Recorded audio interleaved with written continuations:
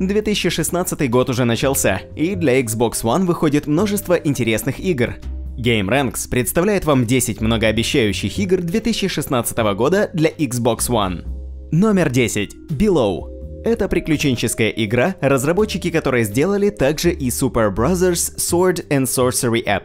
Между прочим, одну из лучших игр для мобильных на данный момент. Capybara Games относят жанр игры к roguelike-like, чем пытаются себя выделить среди множества других игр в стиле roguelike, но при этом оставаться частью этого жанра.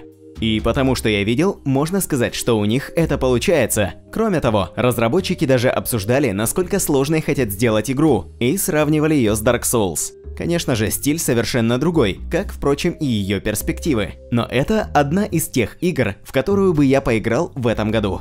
Номер 9. Fable Legends. Давно бы уже пора, вот что я скажу. Fable это одна из лучших серий игр для консоли Xbox. И хотя раньше мы ожидали всегда большего от этих игр, если принять их такими, какие они есть, то они просто необыкновенные. И по этой же причине можно сказать, что Fable Legends получится грандиозной. В нее можно будет играть как в мультиплеере, так и в одиночной игре, при этом ощущения от игры примерно одинаковые.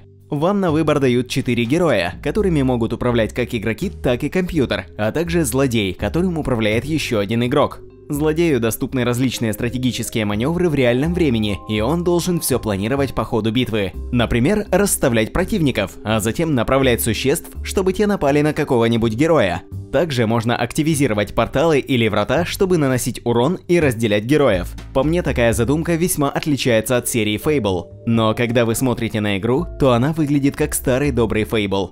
Будучи фанатом игр Fable, я ее очень жду. Номер 8. Cuphead – это платформер в стиле Run and Gun, который просто не может не понравиться. Вы только посмотрите, игра выглядит прямо как старый диснеевский мультик. Да тут даже сделали дефекты пленки, точь-в-точь точь как в старых мультфильмах. В игре есть карта мира, что напоминает мне в какой-то степени о Donkey Kong Country или о какой-нибудь экшен-РПГ. Да и уровни тоже будут совсем непростыми, что мне и нравится, потому что именно такими и должны быть платформеры. Кроме того, в Cuphead создали немало приемов с возможностью парирования. Парирование заполняет специальную полоску, чтобы произвести специальный прием. Все вместе это может показаться немного запутанным и навороченным для типичных платформеров в наши дни, но игру выделяет ее внешний вид.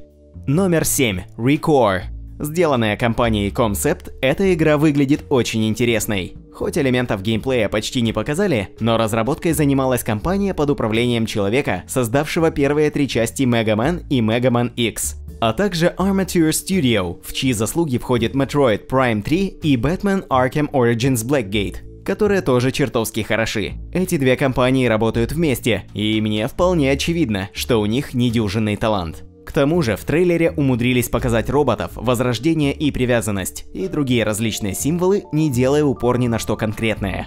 Номер 6. Sea of Thieves.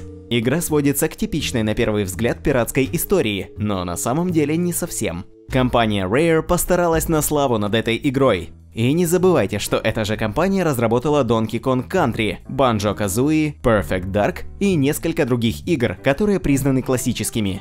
Игра является экшен-РПГ, где игрок создает свою историю или принимает участие в чужой. Она очень вариативна, что подчеркивается невероятными амбициями разработчиков. Если у них получится эта игра, то она станет одним из крупнейших проектов этого поколения.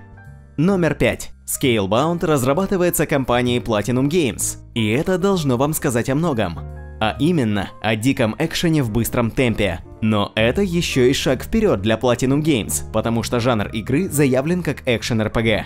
Именно такую игру Platinum Games и пытались сделать с самого начала в 2006 году. Хидеки Камия вдохновлялся игрой Dragon Slayer, вышедшей в 1987 году, в частности в том, что касается гигантских монстров. Он также сказал, что эта игра будет хардкорной, поэтому я подозреваю, что она не сильно будет отличаться от экшена, чего и стоит ждать от Platinum Games. Но она будет далеко не бездумной.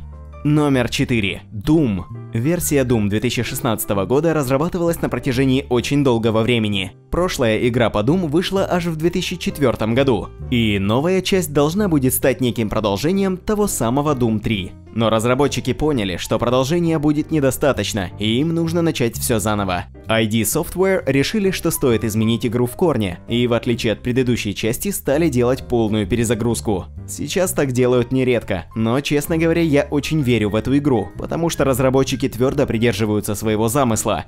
Например, в игре нет никаких укрытий и нет регенерации здоровья. Но при этом они стараются не забывать о людях, которые раньше уже играли в игры серии Doom. То есть это не только перезагрузка, но и обширное обновление к тому, что мы знали о Doom.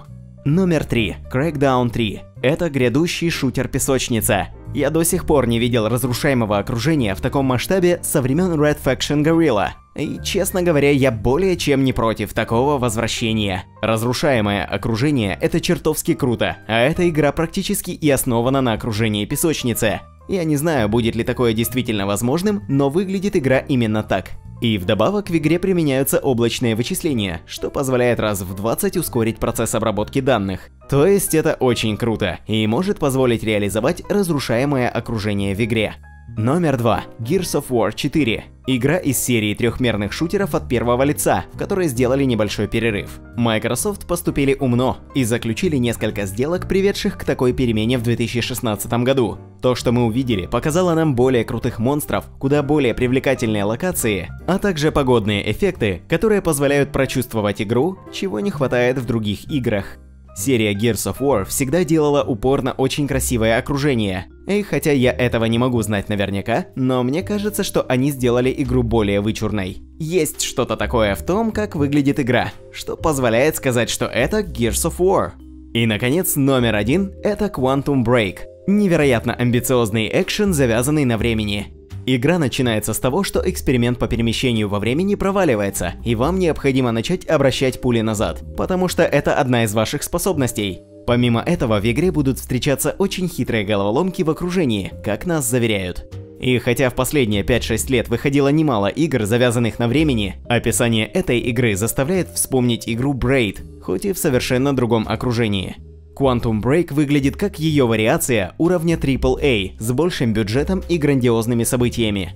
И несколько дополнительных игр для вас. Mirror's Edge Catalyst выглядит как довольно обширная перезагрузка игры или игра, созданная с чистого листа. В этом экшен-платформере от первого лица можно бегать сколько угодно по открытому миру. Unravel – это платформер, ориентирующийся на физику, где вы играете за нитку и вам приходится ее использовать в окружении чтобы решать головоломки и продвигаться дальше. И напоследок историческая игра For Honor в стиле beat'em up, которая привносит немало стратегий в жанр hack and slash, что выглядит очень привлекательно. Вот и все на сегодня. А вы ждете какую-нибудь из этих игр? Оставляйте комментарии и рассказывайте, что вам понравилось. Как всегда, спасибо вам за просмотр этого видео, и увидимся снова в следующий раз. Если вам понравилось это видео, вы можете помочь нам на Патреоне, а также подписаться на нас на Ютубе и ВКонтакте.